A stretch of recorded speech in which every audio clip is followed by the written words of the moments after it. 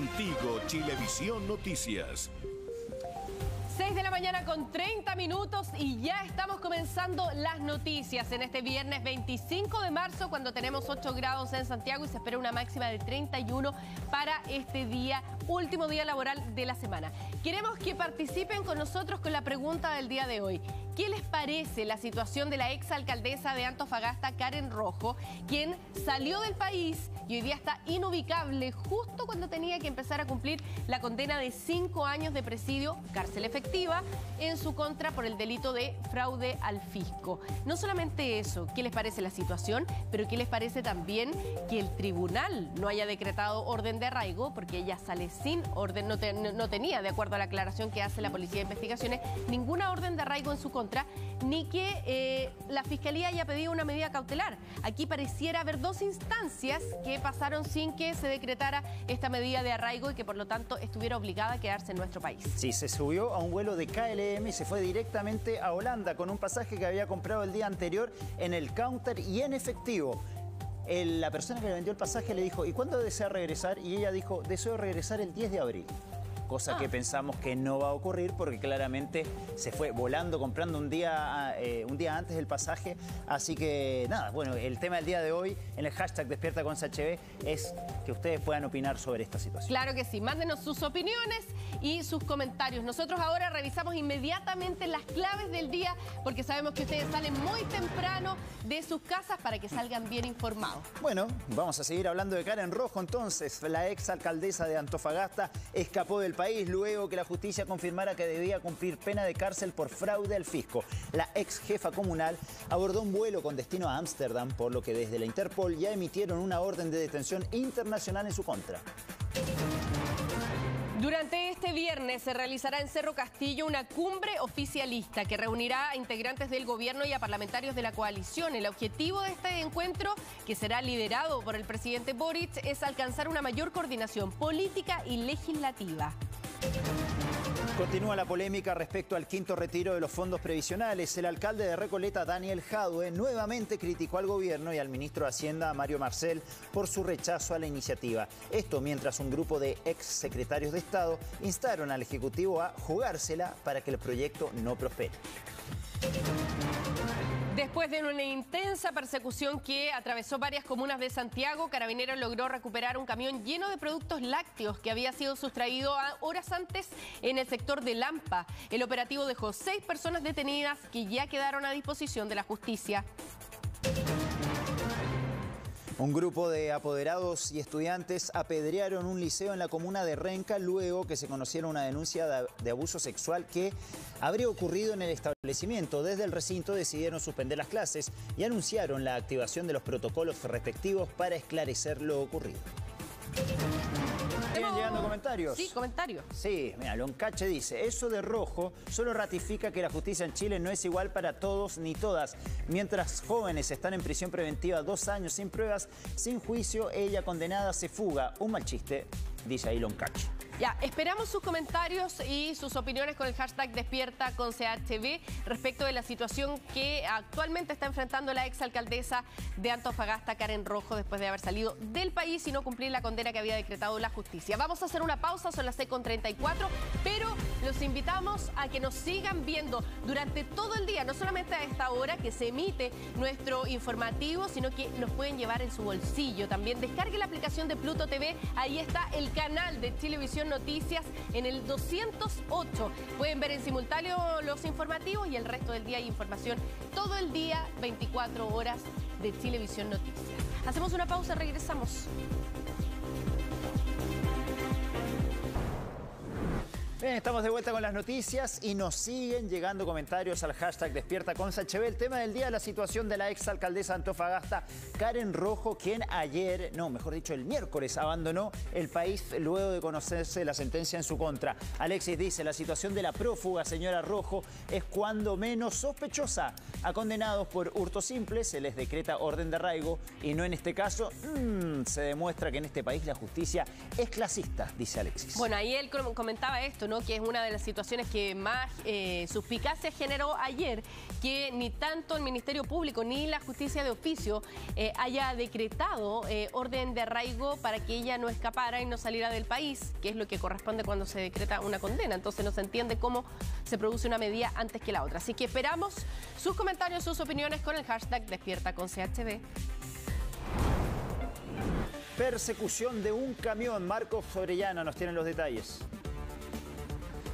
Sí, claro. Hola Roberto, ¿cómo estás? Muy buenos días. Fueron robados cerca de 25 toneladas de queso de productos lácteos que eran transportados por un camionero de nacionalidad argentina. De hecho, el camión tiene las patentes respectivas del país trasandino. Este conductor iba transitando justamente por la región metropolitana, justamente donde se divide ya la ruta 5 con General Velázquez y la Panamericana. Es ahí donde llega un vehículo y le interceptan justamente en esa vía se bajan alrededor de cinco sujetos para intimidarlos con armamento de fuego y dejan abandonado al conductor trasandino y se dan rápidamente a la fuga. Es ahí donde ya en la comuna de Lampa, alrededor de las 20 horas, una vecina hace un llamado de forma anónima al teléfono 133 de carabineros indicando que estaban descargando un camión con eh, cajas de diversos elementos. Ella desconocía, claro, que pertenecían a quesos y diversos productos lácteos. Es ahí donde finalmente llega personal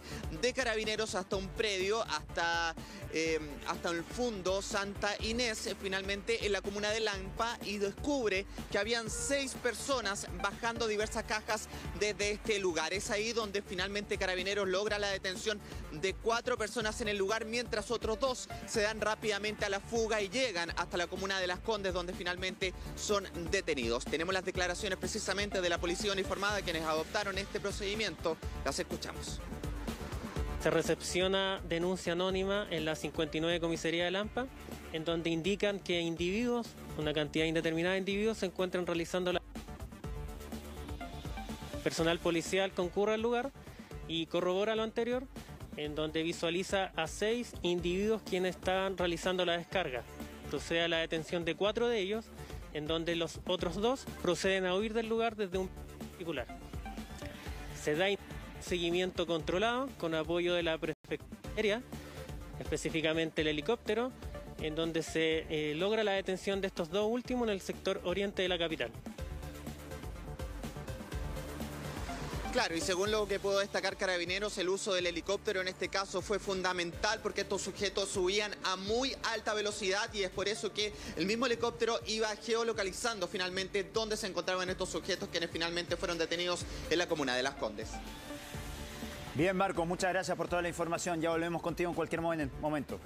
Tenemos un comentario que nos llega cuando son las 6 de la mañana con 45 minutos. Alonso Araya dice, lo de en rojo es típico de nuestra élite política. O se les condena a clases de ética, se les rebaja la multa o llegan a un arreglo con la justicia y lo pone justicia entre comillas. Ya vamos a estar entregando más adelante, Karina, detalles de la cronología de cuándo compró el pasaje y finalmente a qué hora llegó al aeropuerto, se subió al avión, despegó antes que se conociera la sentencia.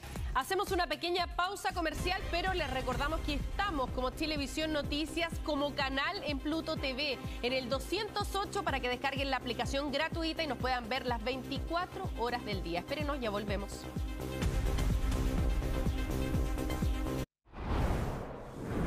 Ya estamos de vuelta y seguimos leyendo sus comentarios al hashtag Despierta respecto a la situación de la exalcaldesa de Antofagasta, Karen Rojo. Jorge Condesa dice, un caso emblemático de lucha contra la corrupción termina así. Nadie pensó que desde el día en que se leyó el veredicto de primera instancia existía el riesgo de fuga. Da para pensar mal y deja en pésimo pie a la Fiscalía y al sistema en su conjunto, dice Jorge. Hasta ahora, muchas gracias, Jorge. Claro, y la gran duda hoy día es por qué no se decretó eh, orden de arraigo, pero además si sus abogados sabían esto, ¿no? Que es la gran duda permanente. ¿O por qué pagó el pasaje en efectivo? Que es otra duda también, considerando lo que cuesta un pasaje. ¿Quién llega con esa cantidad nos hace de sospechar que sí sabían por qué fue directamente al aeropuerto y salió en el primer vuelo que encontró. Y antes de que se conozca, vamos a revisar comentarios que nos llegan con nuestro hashtag Despierta con CHB. Arturo Sandoval dice, las élites privilegiadas, civiles y militares no van a la cárcel. Sus expertos y bien pagados abogados se aprovechan del más mínimo resquicio legal para eludir la acción de la justicia. En estos casos, ciega, sorda y muda. que es precisamente la estatua que simboliza la justicia que está fuera del Palacio de Tribunales. Sí, vamos a ir a una pausa, pero antes comentarles que nos pueden ver a través de la plataforma pluto.tv en sus celulares, en el computador, en sus tablets, en la tele, absolutamente en todos lados, una conexión a internet y por streaming Pluto TV sin eh, tener que registrarse y es completamente gratis, así que usted puede disfrutar de nuestro noticiero las 24 horas del día. Hacemos una pequeña pausa, regresamos de inmediato. Esperen. Estamos de vuelta, son las 7 de la mañana con 9 minutos. Revisamos los comentarios y opiniones que nos llegan con nuestro hashtag Despierta con sobre la eh, salida del país de la exalcaldesa de Antofagasta, Karen Rojo. Anton Rojas nos dice, si Karen Rojo salió del país y la policía sale a aclarar que al momento de su salida no había medida cautelar contra la ex edil, significa que el fallo se filtró desde tribunales antes de hacerse público. En Chile hay que reformar todo. No hay justicia, considera Anton Rojas, y esta es una de las teorías que se maneja. ¿Qué tanto sabía Karen Rojo del fallo que podía ser contrario eh, después de que había pedido un recurso de nulidad ante la Corte Suprema y que por lo tanto, eh, porque ella alcanza a comprar el pasaje justo antes de que incluso se emita el comunicado por parte de la justicia? Sí, llega al aeropuerto eh, con un pasaje en mano que lo había comprado en efectivo con destino a Holanda, país donde no existe tratado de extradición con Chile y donde supuestamente podría estar más segura eh, y no ser extraditada finalmente a nuestro país, más allá de que Chile pidió eh, orden de detención a eh, Interpol. Ya, más de 900 mil pesos llevaba en efectivo para pagar el pasaje. Pablo Jara nos escribe, nos escribe, lo ocurrido con la fuga de la ex alcaldesa Rojo es insólito y grave. Errores por parte de la justicia chilena no haber pedido una nueva orden de arraigo durante la investigación. Saludos a Karina y Roberto, buen fin de, buen fin de para ti también. Pablo Jara, muchas gracias, por participar con nosotros. Revisamos las claves del día cuando son las 7 con 10 minutos. La ex alcaldesa de Antofagasta, Karen Rojo, escapó del país luego que la justicia confirmara que debía cumplir pena de cárcel por fraude al fisco. La ex jefa comunal abordó un vuelo con destino a Ámsterdam, por lo que desde la Interpol ya emitieron una orden de detención internacional en su contra. Este viernes se realizará en Cerro Castillo una cumbre oficialista que reunirá a integrantes del gobierno y a parlamentarios de la coalición con el objetivo de, de, alcanzar una mayor coordinación política y legislativa. El encuentro será liderado por el presidente Boric. Continúa la polémica respecto al quinto retiro de los fondos previsionales. El alcalde de Recoleta, Daniel Jadue, nuevamente criticó al gobierno y al ministro de Hacienda, Mario Marcel, por su rechazo a la iniciativa. Esto mientras un grupo de ex secretarios de Estado instaron al Ejecutivo a jugársela para que el proyecto no prospere.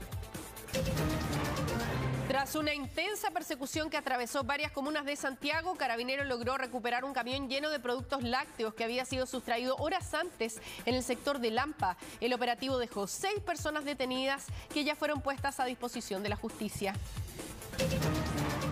Grupo de apoderados y estudiantes apedrearon un liceo en la comuna de Renca luego que se conociera una denuncia de abuso sexual que habría ocurrido en el establecimiento. Desde el recinto decidieron suspender las clases y anunciaron la activación de los protocolos respectivos para esclarecer lo ocurrido.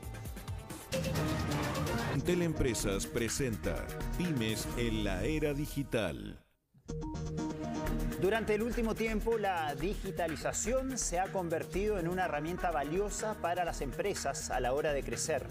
Y cómo no, si varias pymes han debido adaptarse a la pandemia y a los nuevos tiempos. Claro, ahora la gran duda es cómo utilizar la tecnología a la hora de trabajar. Ponga atención al siguiente informe. No es una novedad que la pandemia aceleró el proceso de la digitalización en las empresas, es que muchos se dieron cuenta que las necesidades de los clientes cambiaron y que de sumarse a la era tecnológica los beneficios se harían notar.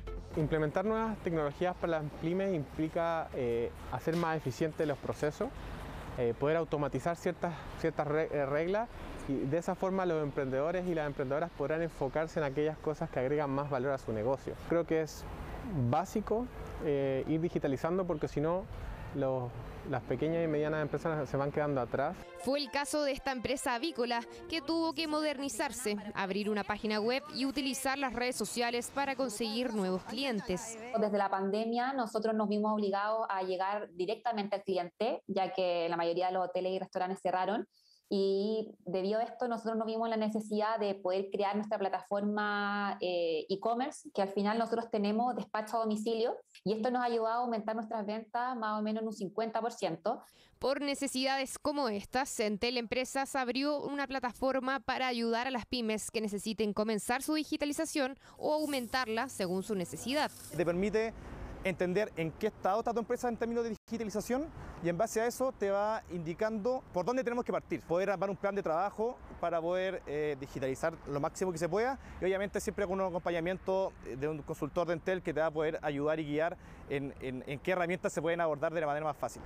Plataforma de fácil acceso que incluso cuenta con cursos gratuitos y con certificaciones para quienes estén interesados en integrar nuevas herramientas en su trabajo.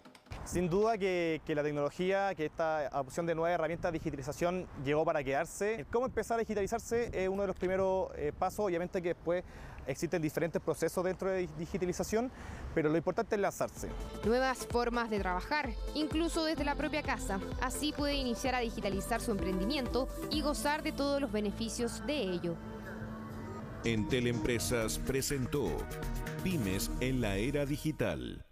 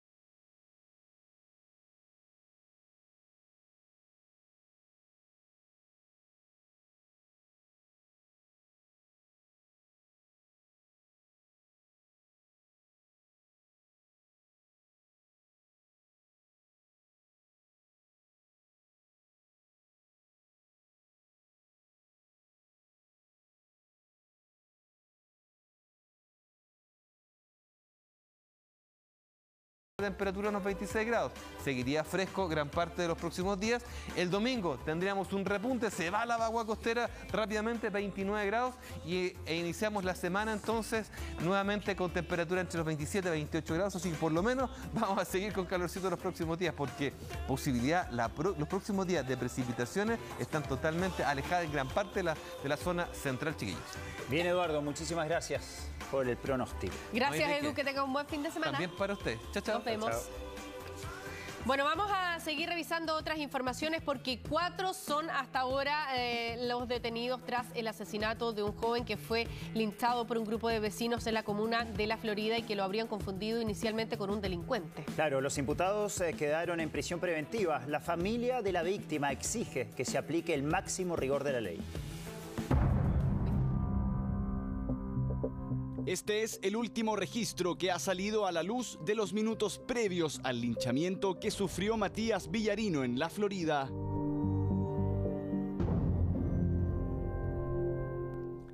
El video muestra un comportamiento algo errático del joven, al parecer intentaba esconderse de alguien. Luego se le ve tratando de entrar a una casa. Ahí habría sido descubierto por vecinos y luego linchado hasta provocarle la muerte. Este jueves se detuvo a los presuntos involucrados. Hasta el momento cuatro personas. Nosotros, como dije anteriormente, estamos realizando un análisis eh, y una investigación inicial, pero ya con elementos concretos respecto a que estas cuatro personas se encontraban situadas en el sitio del suceso. Hay versiones tanto de ellos como de los demás vecinos y registros de cámaras que los sitúan en el sitio del suceso.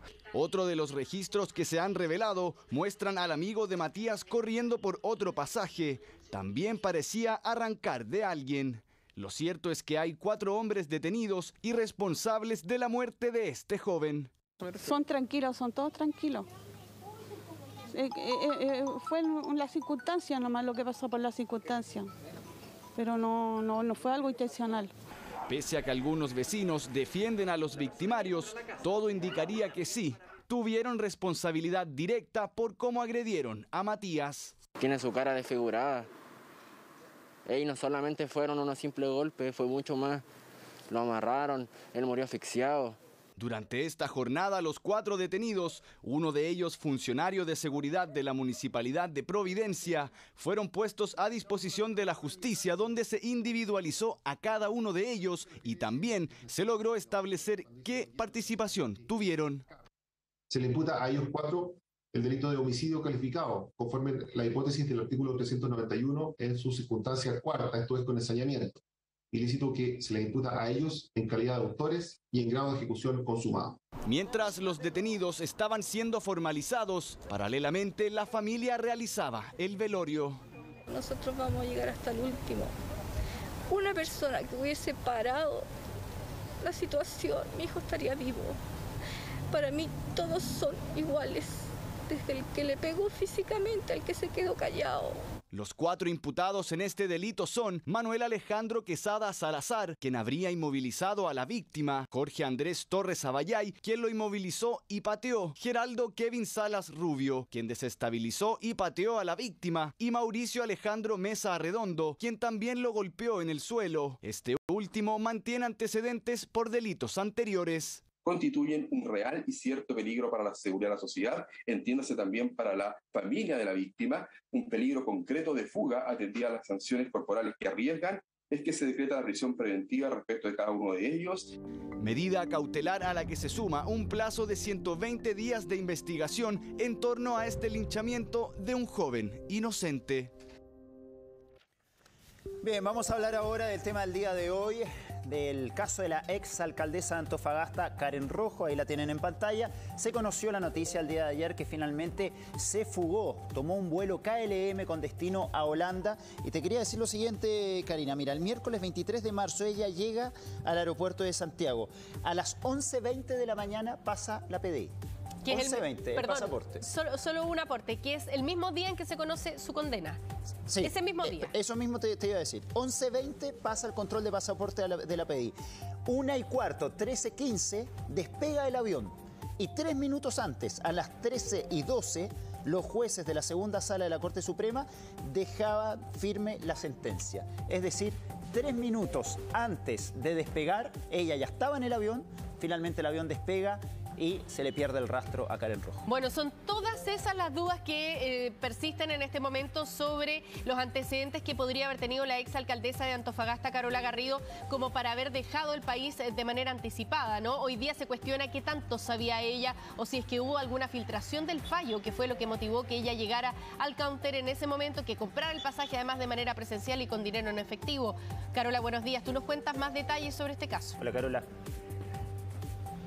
¿Cómo están? Muy buenos días. Claro, eso es uno de los rumores que circula, ¿cierto? Que ella habría tenido acceso a información confidencial y es por eso que decide viajar, tal como ustedes explicaban, el mismo día en que se conoce esta sentencia. De hecho, ella habría tenido acceso a esta información. Estos son datos que aporta hoy el diario La Tercera cuando se encontraba en Brasil haciendo una escala eh, en medio de este viaje rumbo a Ámsterdam. Otro de los datos que se conocen también durante esta jornada es que tal como ustedes adelantaban, ella se habría acercado al counter a comprar su pasaje en efectivo. Le costó aproximadamente 950 mil pesos y a la persona que la atendió allí le habría llamado la atención porque por lo general cuando alguien planifica un viaje con un destino que es tan lejano, lo hace con mucha antelación, no va el mismo día a preguntar por un pasaje, lo paga en efectivo y se sube al avión.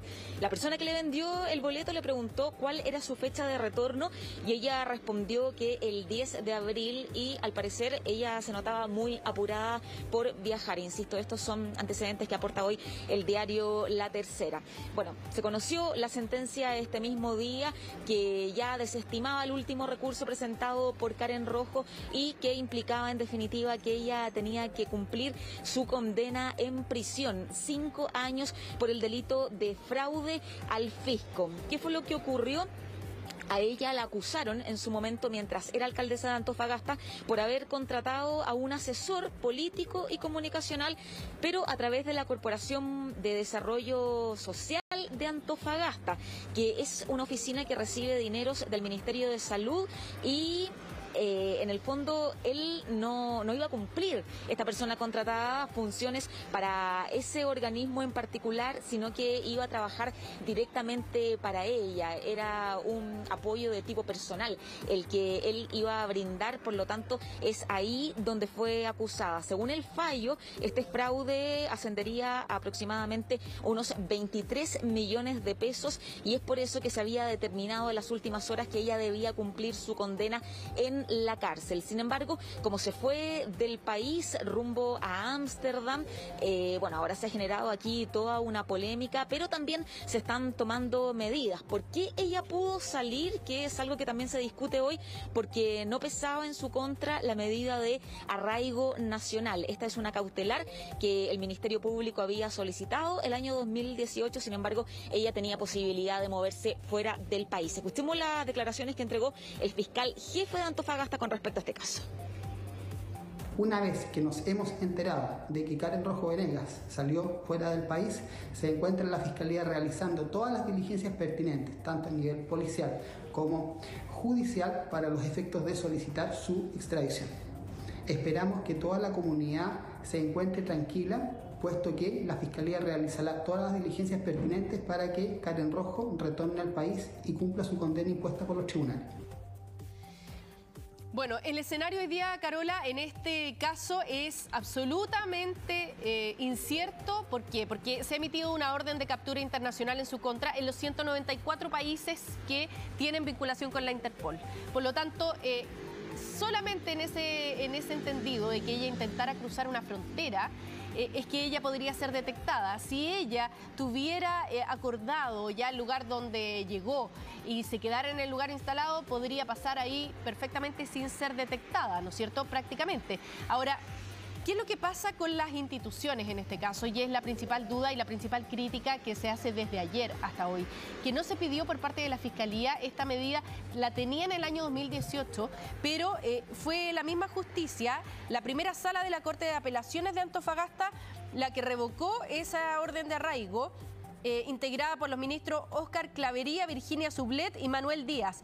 ¿Qué estimaron los ministros en esa oportunidad, en el 2018? Que no era necesario dictar la prohibición de salir del país, ya que a su juicio, de los magistrados, de tres magistrados, no serviría para cumplir el objetivo de garantizar los fines de la investigación, ni tampoco mantener la seguridad de la sociedad.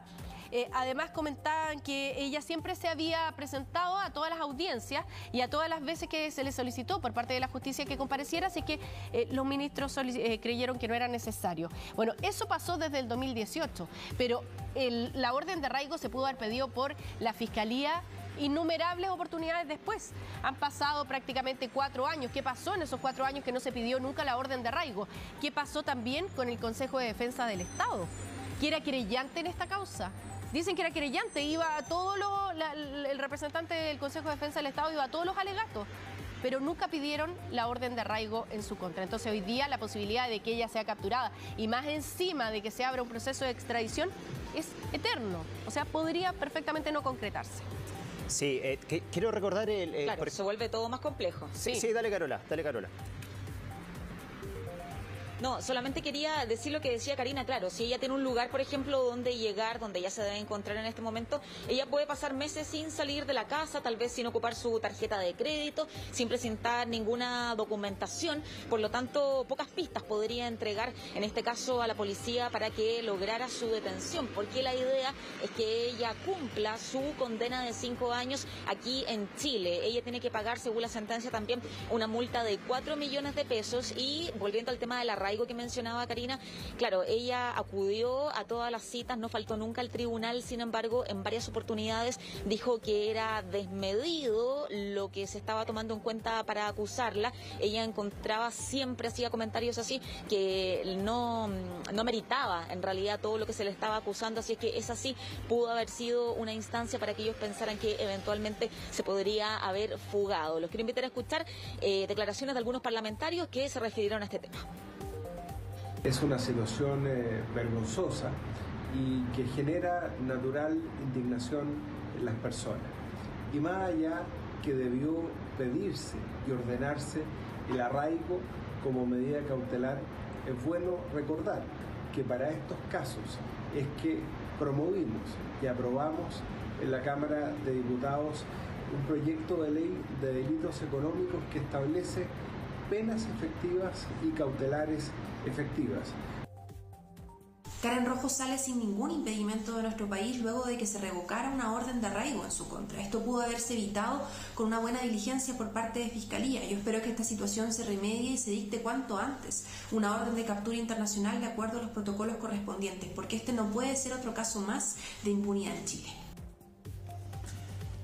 Carola, hay que determinar en este caso bien a qué hora la justicia finalmente se da cuenta que em, Karen Rojo ya había salido del país y te lo digo porque al momento de darse cuenta se emite una orden de captura internacional, pero eh, no sé si se emite en en el tiempo suficiente como para que cuando ella aterriza en Ámsterdam ya la policía la estuviera esperando. Uno. Y dos, una vez que ella entra a la Unión Europea, ahí las fronteras son bastante difusas, entonces se puede eh, mover entre varios países sin que le vuelvan a pedir el pasaporte, por lo que de Ámsterdam puede pasar a varios países de la Unión Europea y ahí ya se le puede perder el paso.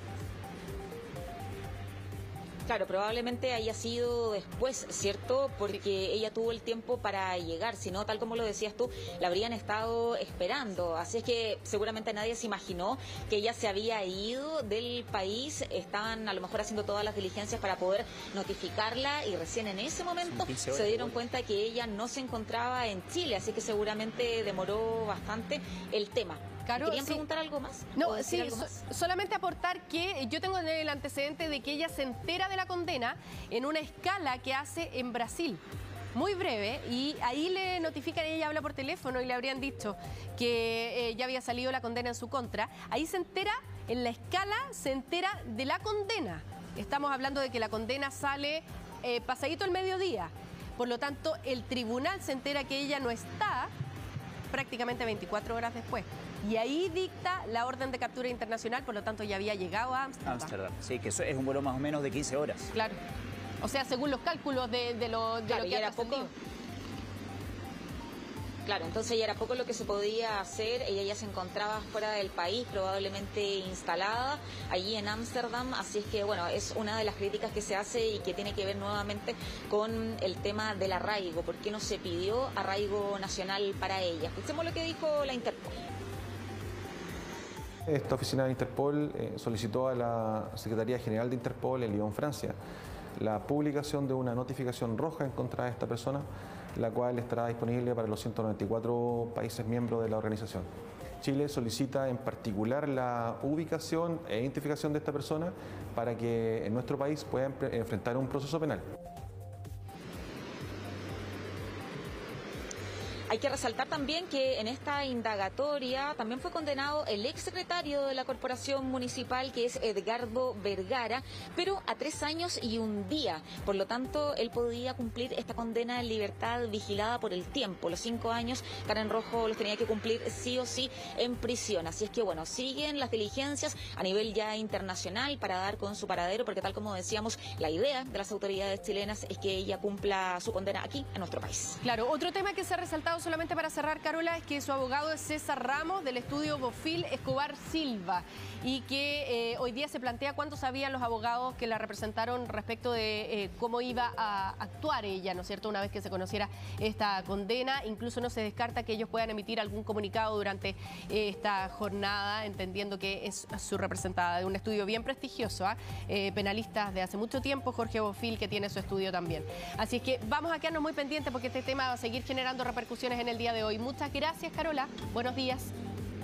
Gracias, Carola. Bueno, claro, habrá que ver si la siguen representando o no. Claro que sí. ¿Qué opinan nuestros televidentes al hashtag Despierta con CHB justamente en relación a este tema? Esmeralda dice, Chile no es ejemplo de justicia, solo algunos pagan. Karen Rojo volverá tal cual lo hizo Mauricio Israel, se van y vuelven sin culpas. Por eh, Corpesca, solo Orpiz fue condenado y eh, Isasi... La, eh, Isasi. Sí, le, le han hecho la vida a cuadritos, los demás sin culpas por la vida. Ejemplo, Penta, dice. Claro, y ahí se destaca eh, lo que señalaba la familia de Jaime Orpiz cuando él fue condenado, ¿no es cierto? Que es el único político que ha pagado con pena de cárcel por eh, corrupción. Carlos Durán nos dice, por 20 palos, 5 años de cárcel por usar fondos públicos para su campaña, Karen Rojo. Lavini y Reginato, miles de millones de pesos defraudados a sus municipios y ni un pelo se les ha tocado. ¿Cómo es la cuestión? Para los pequeños cárcel y los grandes los tapan. Es lo que se pregunta Carlos Durán a esta hora de la mañana. Muchas gracias por el comentario. Vamos a, Son las 7 de la mañana con 36 minutos ya. Sí, vamos a tomar contacto de inmediato con Marcos Orellana porque se dio a conocer otro caso de violencia escolar. Tú nos tienes los detalles.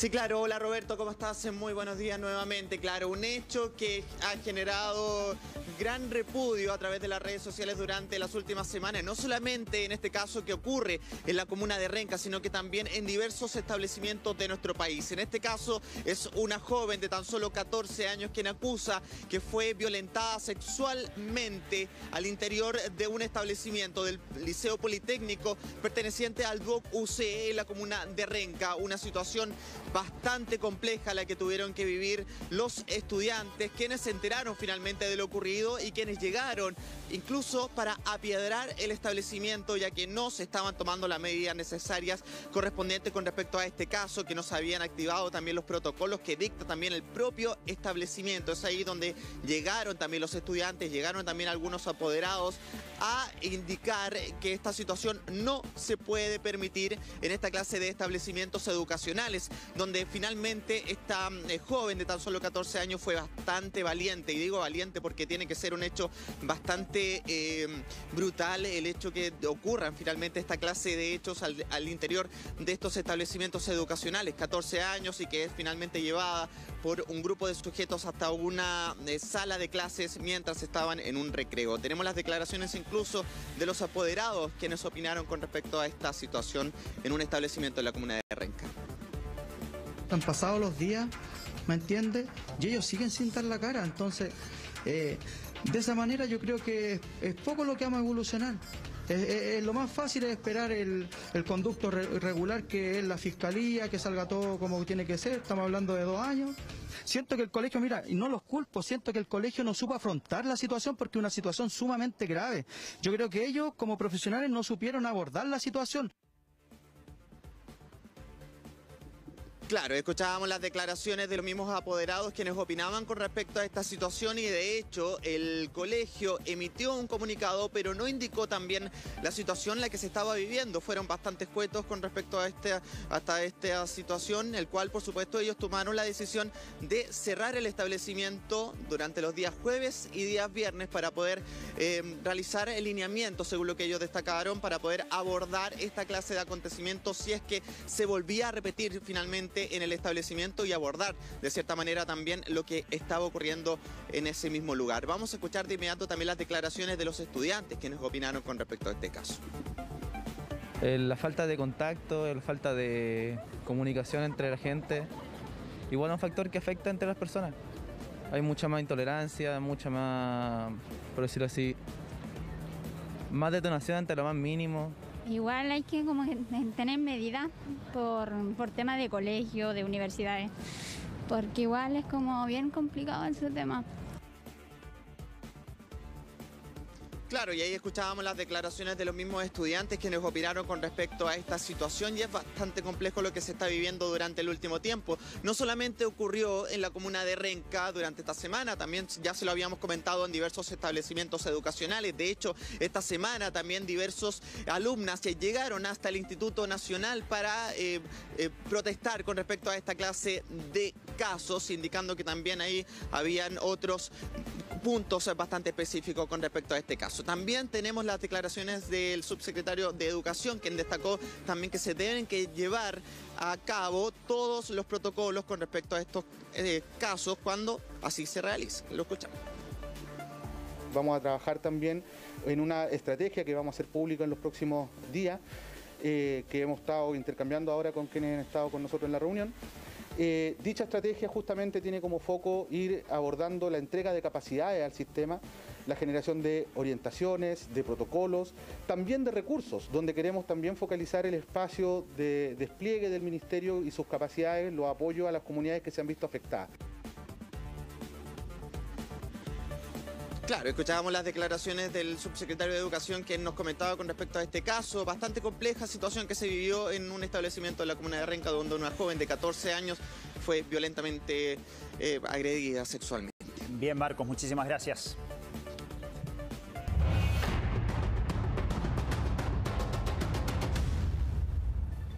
Isel Guerra está con nosotros para comentarnos las últimas informaciones sobre el conflicto entre Rusia y Ucrania y eh, también con esta preocupación que tienen los líderes mundiales, ¿no es cierto?, que se han reunido para analizar la situación actual y la gran pregunta, Isel, es cuánto pueden hacer, ¿no es cierto?, en este escenario. Buenos días.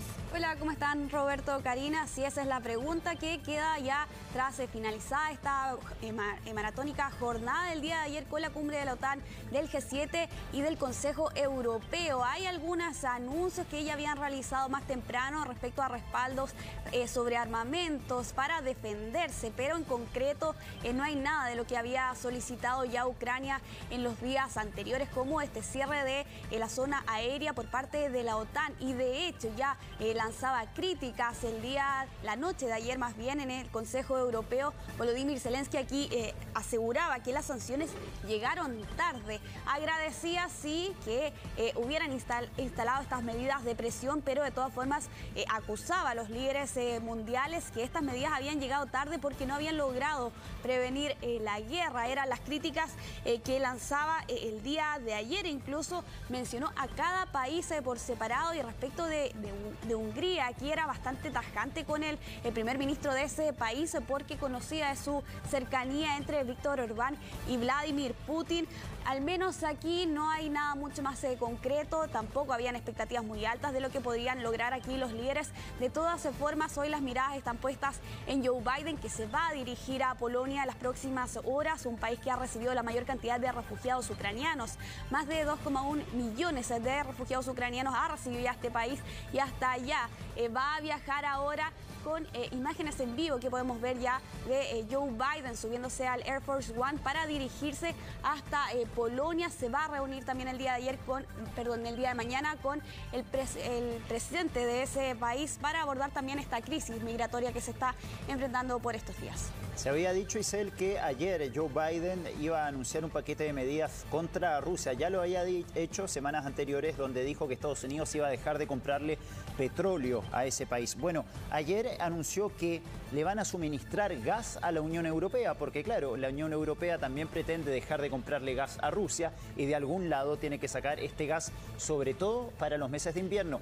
Felizmente Europa ahora está entrando al verano, pero llegado el invierno van a necesitar gas y pretenden eh, hacerlo desde otro lugar del mundo que no sea Rusia. ¿Qué otras medidas anunció Joe Biden justamente para seguir ahorcando económicamente a los rusos?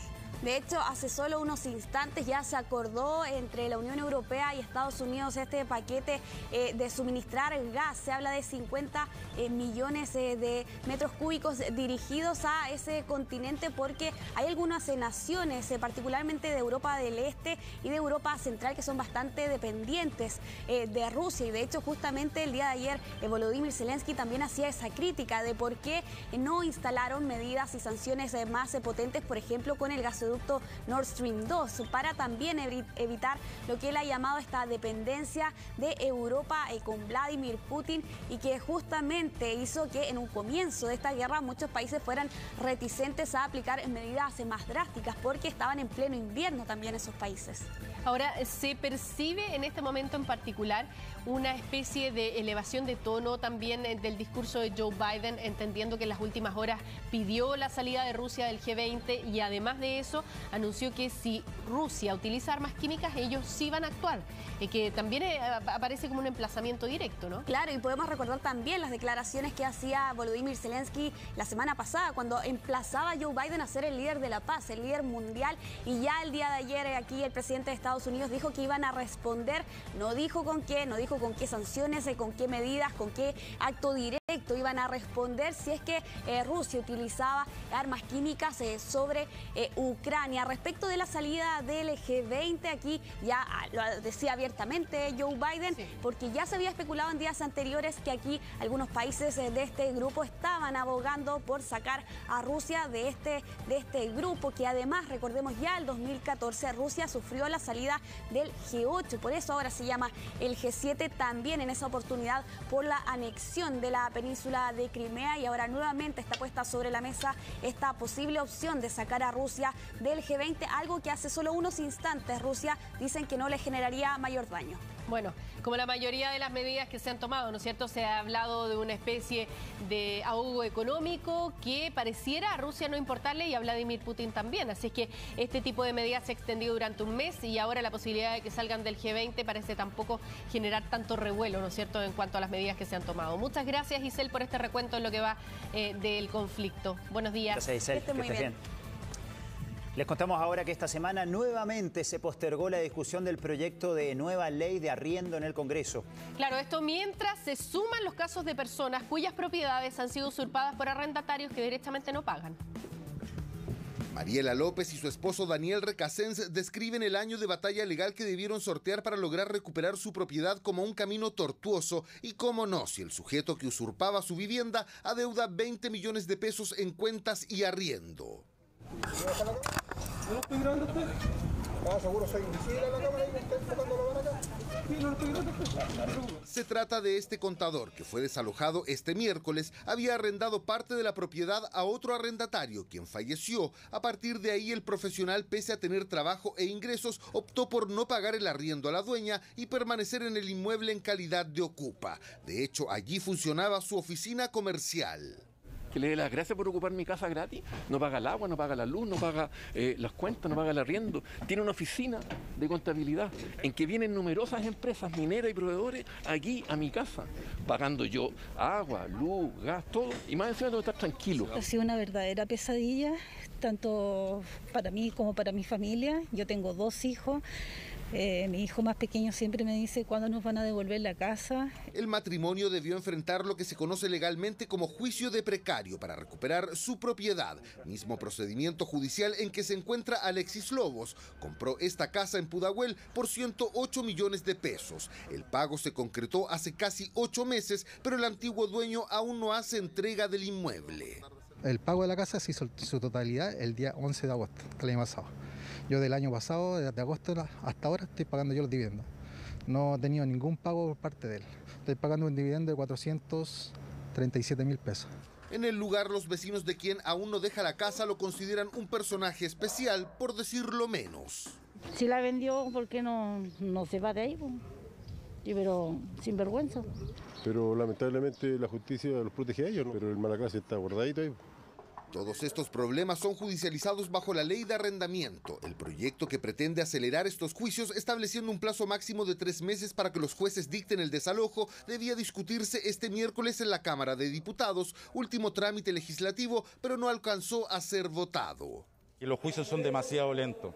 Y este, afortunadamente, es una iniciativa que recoge esa gran demanda y que acorta los plazos. El dueño del inmueble le pide, le solicita al juez, y este tiene un plazo de 10 días como máximo, para que le pida a su vez al arrendatario que pague lo adeudado. Si no lo hace, y en este caso el juez puede condenar, condenarlo al alzamiento del inmueble, es decir, lo saca del inmueble, y eso puede ser incluso con la fuerza pública. Otro caso es el de esta mujer. Le arrendó una casa a un sujeto que transformaría el primer piso en un local. No realizó los trabajos y hace 13 meses que no paga el arriendo.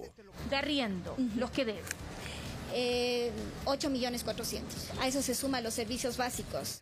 Cerca de 10 millones de pesos. La justicia ordenó que debía desalojar en febrero el inmueble, pero hizo caso omiso y así responde. Ella es la dueña de la casa. estamos conscientes. De este local. Perfecto, pero estamos, pero estamos. Ese es el motivo. A lo que me llama la atención, Arturo, es por qué no devuelve la casa en este caso. Estoy descontando de mis plata que yo he puesto. De mis plata que yo he puesto acá en el local. Me tengo que hacer pagar de alguna cosa. Estos dramáticos casos probablemente no se resolverán tan rápido con la modificación a la ley de arriendo, explican los expertos, ya que advierten el problema está en tribunales. O sea, los tribunales de justicia tienen normalmente una carga de trabajo absolutamente eh, sobrepasada a sus capacidades físicas y por lo tanto, por más que existan plazos perentorios para resolver los temas, se encuentran incapacitados para ello. Igual el proyecto de arrendamientos establece plazos para sacar a los malos arrendatarios, iniciativa que está prácticamente lista para convertirse en ley y que debería ser votada el lunes 4 de abril. Robaron un camión y se inició una larga persecución. Eh, Marcos Orellana nos tiene los detalles de este caso. Sí, hola Roberto, ¿cómo estás? Una persecución que inició en Lampa y terminó finalmente en la comuna de Las Condes. Imágenes cinematográficas, de verdad, porque fueron seguidos finalmente por el helicóptero de carabineros, siguiéndoles el paso por todos los rincones en donde estos sujetos, estos delincuentes, se daban rápidamente a la fuga. Todo comienza durante la jornada de ayer, jueves, en eh, la frontera de la comuna de San Bernardo, justamente donde se divide la ruta 5 con eh, General Velázquez y la autopista panamericana. Es ahí donde alrededor de cinco sujetos detienen un camión de nacionalidad extranjera. Es un camión con patente argentina. Su conductor, también de la misma nacionalidad, es intimidado con diversos objetos contundentes y es ahí donde finalmente lo dejan abandonado en plena autopista y ellos se dan a la fuga posteriormente en este vehículo de carga. En su interior iban diversos objetos lácteos como por ejemplo diversos quesos que eh, dentro de su magnitud alcanzaban cerca de las 25 toneladas. Es ahí donde finalmente llegan hasta un predio del Fondo Santa Inés en la comuna de Lampa y es ahí donde una persona hace un llamado anónimo al teléfono 133 de carabineros indicando que estaban descargando un camión y estaban bajando diversas cajas. Sin embargo, la vecina no sabía de qué se trataba. Es ahí donde finalmente llega personal de carabineros, descubre hasta estas personas quienes eh, son detenidas, pero mientras otras dos se dan rápidamente a la fuga y es ahí donde personal de carabineros les sigue finalmente el paso. Acá es vital finalmente la utilización del helicóptero institucional porque les sigue finalmente, los va alumbrando en todo momento para no perderles el paso porque ellos iban a muy alta velocidad terminando después en la comuna de Las Condes donde finalmente se logra la detención y en su totalidad son seis personas, son cinco chilenos y una persona de nacionalidad haitiana, los que finalmente son detenidos en la comuna de Lampa y también estos dos que se dieron a la fuga posteriormente en la comuna de Las Condes. Un procedimiento que se generó por largas comunas, también realizando el seguimiento de estas personas que habían asaltado al conductor de nacionalidad argentina. Vamos a escuchar de inmediato también las declaraciones de carabineros que nos comentaron mayores detalles. Se recepciona denuncia anónima en la 59 Comisaría de Lampa, en donde indican que individuos, una cantidad indeterminada de individuos, se encuentran realizando la... Personal policial concurre al lugar y corrobora lo anterior, en donde visualiza a seis individuos quienes están realizando la descarga. Procede a la detención de cuatro de ellos, en donde los otros dos proceden a huir del lugar desde un particular. Se da seguimiento controlado con apoyo de la prefectura específicamente el helicóptero, en donde se eh, logra la detención de estos dos últimos en el sector oriente de la capital. Claro, escuchábamos las declaraciones de carabineros quienes nos comentaban mayores antecedentes con respecto a esta detención que se generó en la comuna de Lampa y posteriormente en la comuna de Las Condes. Sí, larguísima la persecución casi por todo Santiago. Muchas gracias, Marcos. Son las 7 de la mañana con 53 minutos. Vamos a regresar con Carola Garrido que nos va a contar sobre una situación puntual que se está viviendo en una plaza de la comuna de Ñuñoa. Carola. Sí, en el sector de la Villa Los Presidentes. Ahí hay una plaza que está rodeada por distintas torres de departamentos y los vecinos se comunicaron con nosotros para denunciar una situación que dicen se viene arrastrando hace bastante tiempo pero que en las últimas semanas se ha vuelto más complicada todavía. Ellos dicen que allí se han instalado varias carpas con personas en su interior, pero que en el último tiempo han protagonizado varias peleas. Son entre ellos mismos las discusiones que se generan. De hecho, uno de los vecinos nos hizo llegar un video donde se nota que usan una especie de estoque eh, elaborado de manera artesanal y uno de los involucrados en esta discusión, de hecho, termina sangrando gravemente herido producto de todo lo que sucedió allí. Dicen que estas peleas desafortunadamente en el último tiempo son habituales, que ocurren por lo general durante la madrugada, que ellos despiertan al sentir los ruidos y acusan además a algunos de estos vecinos que estas personas que estarían en situación de calle y que están quedándose allí en estas carpas incluso consumirían droga y la venderían porque dicen que hay autos que llegan, se detienen, eh, mantienen alguna breve conversación con ellos y luego se retiran del lugar. Están pidiendo al municipio que eh, ojalá pueda sacar a estas personas de ese lugar. Sin embargo, dicen que se han acercado al municipio y que han tratado de obtener alguna respuesta. Sin embargo, hasta el momento no la han encontrado. Escuchemos parte de, la, de los comentarios que hacían estos vecinos allí de la villa, los presidentes de la comuna de Ñuñoa. Mire, en la noche, a las 2, 3 de la mañana, una fogata una fogata inmensa y se ponen a pelear, a conversar. Yo vivo en el segundo piso, no, no dejan dormir a nadie. Y ya no, no, es primera vez ni segunda. Fuera que eso venden otras cosas, ¿entiendes? ¿Droga? Sí. Mira, la verdad no sé quiénes son, yo no los conozco, pero ya llevan harto tiempo y siempre se ponen en todos estos sectores de acá. Ponen carpas, hacen fogatas, carretean toda la noche, en el día duermen, tienen sus ollitas, yo paso, tienen como realmente, no sé, un campamento. Las carpas han estado siempre, desde que yo estoy viviendo acá, ahí aparecen carpas, desaparecen, vuelven a aparecer y las peleas son normales. Siempre hay peleas, siempre hay asalto, hay mucho asalto acá en el parque, es muy peligroso. Eh, bien peligroso para nosotros. Y eh, el otro problema también es de la basura y que se deja eh, insalubre esa cuestión. Hemos reclamado todas estas veces pero no pasa nada. De la acumulación de basura no acusan a estas personas que viven allí en la plaza en las carpas, sino que dicen que el municipio, por alguna razón que ellos desconocen, se ha negado a instalar un contenedor. Así es que los mismos vecinos del sector no tienen otra alternativa que ir acumulando la basura ahí en una esquina de la plaza. Bueno, consultamos a la alcaldesa de Ñuñoa sobre esta situación con respecto al tema que mencionábamos recién. Ella dice que sí, el departamento que tiene que ver con el aseo está trabajando en el sector para que los vecinos puedan vivir en un, en un área que se encuentra limpia, sobre todo esta área verde que utilizan principalmente los niños. Y con respecto a estas personas en situación de calle, la alcaldesa fue clara en señalar que ellos, como municipio, no cuentan con las atribuciones pertinentes como para desalojar a estas personas Sí se produjo una situación así, pero fue una medida adoptada por carabineros. Luego de esta pelea que yo les mencionaba, donde los participantes utilizaron armas blancas. Allí una persona resultó herida, los vecinos hicieron la denuncia a carabineros y ayer llegaron a sacar aproximadamente unas seis carpas, según nos contaban las personas que viven allí. Sin embargo, había otros grupos, porque la plaza es bastante grande, que todavía se encontraban en el sector, que estaban durmiendo y ellos piensan que luego de que recuperen su libertad, estas personas detenidas probablemente van a volver a instalarse en el mismo lugar. Escuchemos las declaraciones de la alcaldesa de Ñuñoa.